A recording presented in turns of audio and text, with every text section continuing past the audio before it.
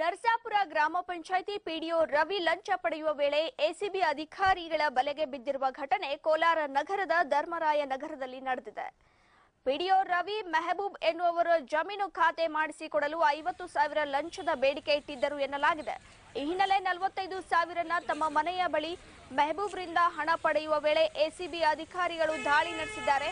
ACB, DYSP Sudhir, inspector Manjunath Faruk ನೇತೃತ್ವದಲ್ಲಿ ಈ ದಾಳಿ ನಡೆಸಲಾಗಿದ್ದು, ಸದ್ಯ ಪಿಡಿಒ ರವಿರವರನ್ನ ಎಸಿಬಿ ಅಧಿಕಾರಿಗಳು ವಶಕ್ಕೆ ಪಡೆಯುವ ವಿಚಾರಣೆ ನಡೆಸಿದ್ದಾರೆ.